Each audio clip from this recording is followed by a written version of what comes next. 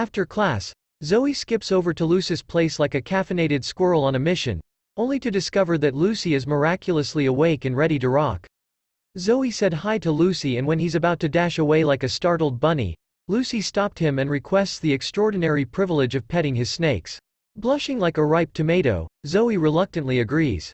As they settle down, Lucy starts reminiscing about her family's legendary spider farm, and her eyes light up like disco balls. Zoe, being the snake expert he is, decides to impart some crucial wisdom in the middle of the conversation.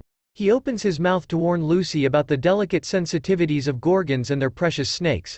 But as he's about to utter those words, he realizes that Lucy has magically dozed off into dreamland, leaving him talking to the snoozing beauty. Meanwhile, in another corner of the universe, Seth is wide awake and contemplating the wonders of youth.